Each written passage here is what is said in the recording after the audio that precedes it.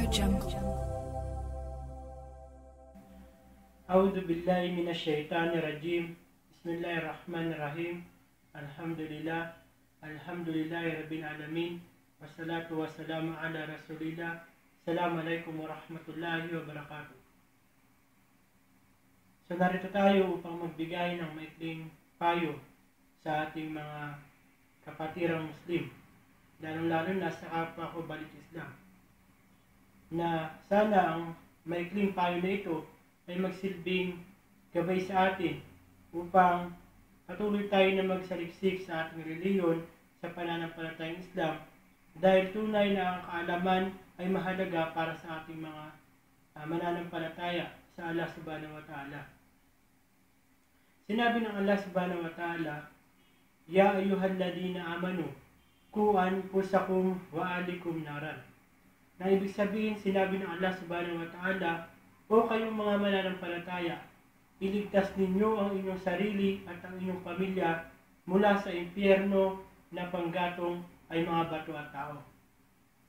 Na ibig sabihin, sinabi ng Allah subhanahu wa ta'ala, tayo ay kanyang pinag-uutusan na matapos natin maunawaan ang aral ng pananampalatayang Islam, matapos nating malaman ang katotohanan, hindi sapat na tayo ay yumakap sa pananampalatayang Islam at ang ating mga mahal sa buhay ay nananatili sa maling katuruan.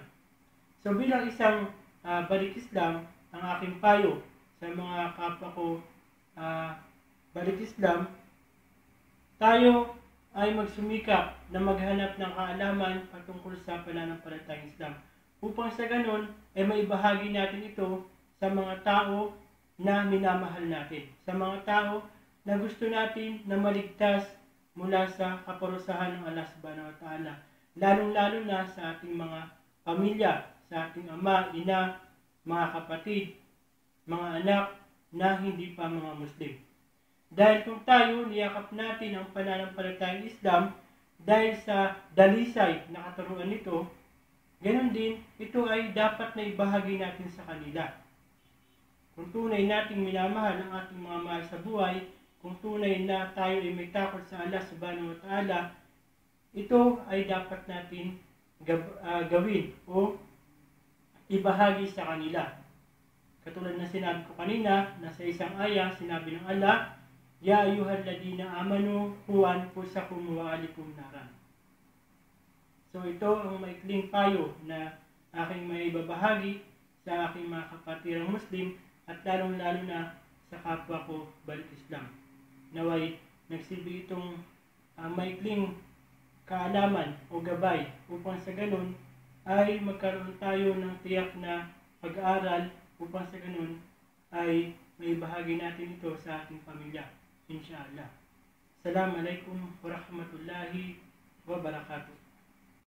سبحان الله والحمد لله ولا إله إلا الله. الله أكبر